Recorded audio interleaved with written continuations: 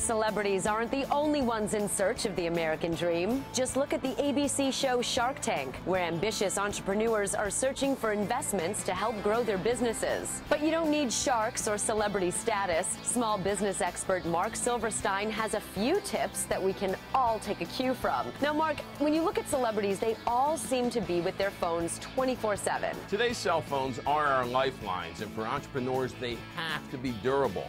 Kyocera's DuraForce is certified to military grade standards. It's drop proof, waterproof, yet the screen is sensitive to touch even with gloves. It's an Android and it's $49 with a service agreement from AT&T. Sprint and Verizon have rugged models too. And of course, celebrities have personal assistants, but you offer a technological equivalent. The HP Color LaserJet Pro MFP M277 copies, scans, faxes, and prints. It's compact, saves energy, and it's the fastest in the industry in going from sleep mode to printing the first page of a document. And if you've ever forgotten your notes for a meeting, it's the first to let you print Word and PowerPoint documents right from a USB. And you know, it's very rare that we see a celebrity without a bodyguard these days, but you're saying that we should think of our small businesses in the same way. Get big business protection for your small business without needing an IT department.